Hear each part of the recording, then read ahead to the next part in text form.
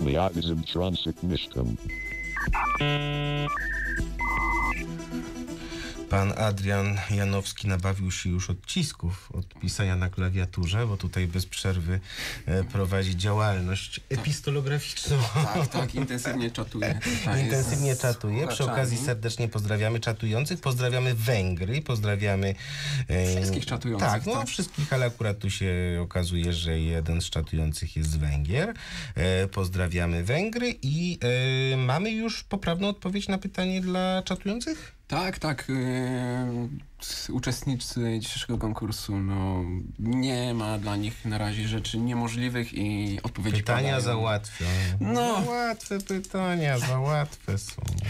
Dobrze, to w takim razie następne będzie trochę trudniejsze. To może odpowiedzmy na to pytanie. Tak, pytanie brzmiało, ile znaków y, mieści się w jednym QR-kodzie? Y, Wyrzuciło nam czat, ale nie szkodzi, tak? Zaraz się zalogujemy.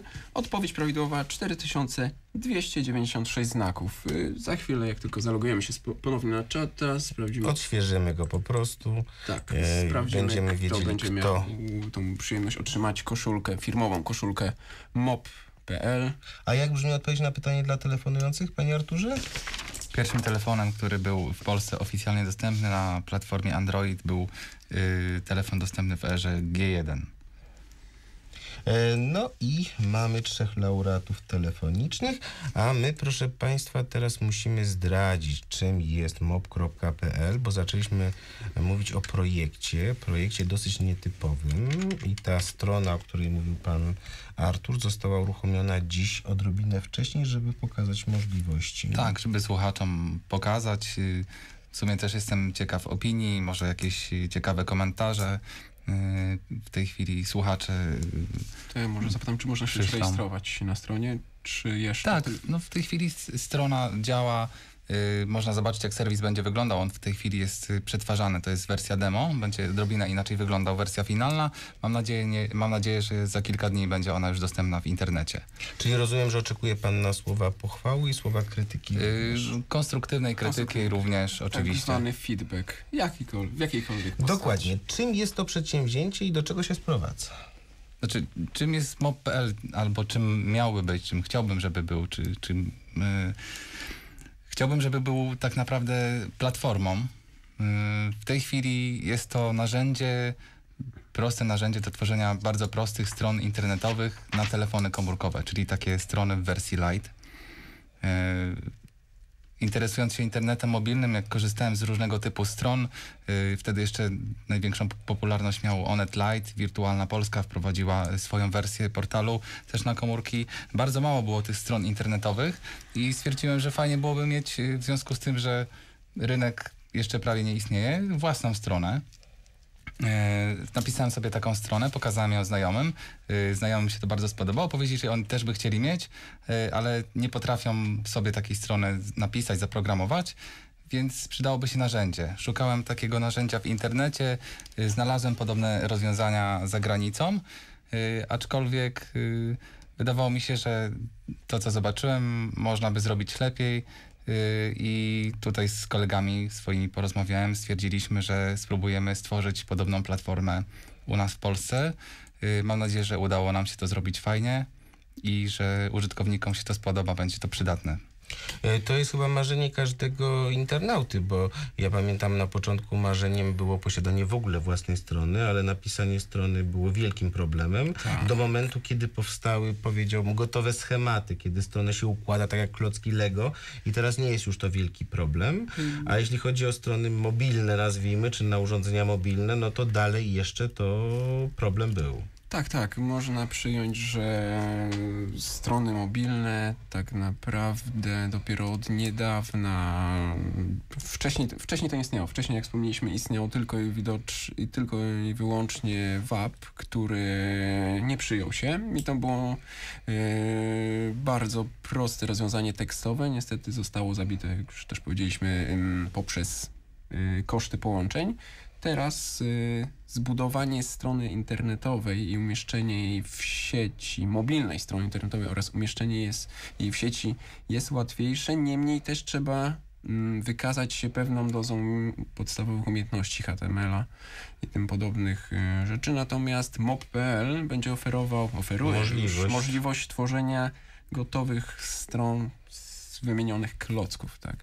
Ale powiem panu tak, to, że nie przyjął się WAP, to chyba jest dla mnie zrozumiałe, ponieważ było to strasznie kulawe, toporne i niewiele miało to wspólnego z internetem. Tak, nie ukrywam, że korzystanie Takie lizanie z- lodów przez szybkę. Tak, to było bardzo, bardzo uciążliwe, niewygodne. Tutaj twórcy starali się to na bardzo różne sposoby promować. Ten... I sprzedać na prawo I sprzedać, na lewo, właśnie, tak? Bo sprzedać. dochodziło przede wszystkim o pieniądze, które Tak. zostaną ściągnięte z rynku poprzez połączenia tak, poprzez z połączenia. internetem. Powiem tak, można zaryzykować e, tezę, że swoje na tym zarobili.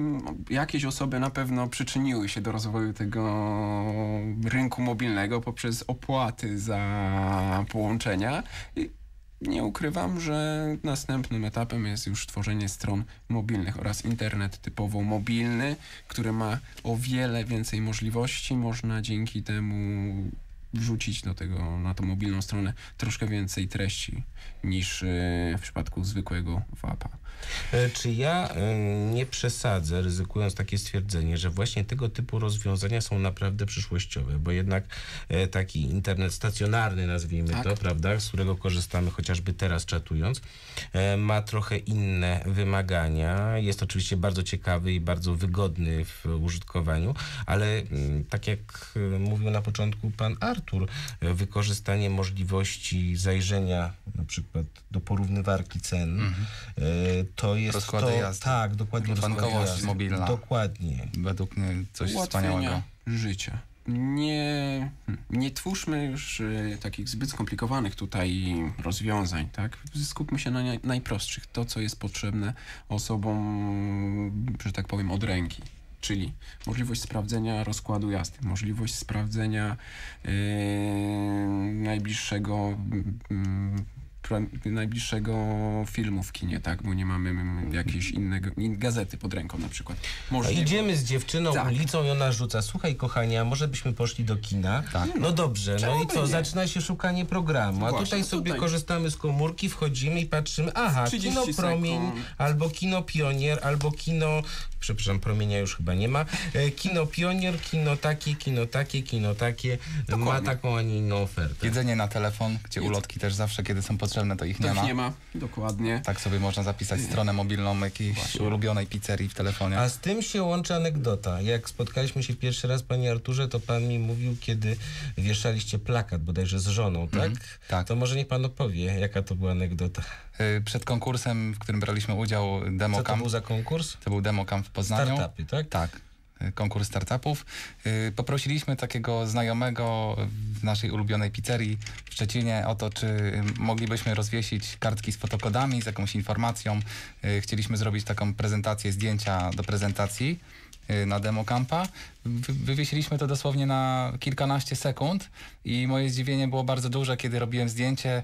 Y, Jakiś młody człowiek przechodził ulicą, wyciągnął, y, jak zobaczył fotogo, wyciągnął telefon i od razu chciał go fotografować, zobaczyć, co jest pod nim ukryte. Byłem w prawdziwym szoku. To znaczy, że już co niektórzy wiedzą, o co chodzi. Czym są fotokody? Dokładnie. O czym powiemy za chwilę. Dokładnie. Jest, s- fotokody są częścią systemu tak naprawdę. To jeszcze o systemie chciałem powiedzieć, bo Ale może zanim pan o tym powie, to powiem jeszcze jedną bardzo ważną rzecz. E, Pan Artur i pan Adrian są naszymi gośćmi, ponieważ e, w magazynie komputerowym Trącić Myszką funkcjonuje Akademia Startupów.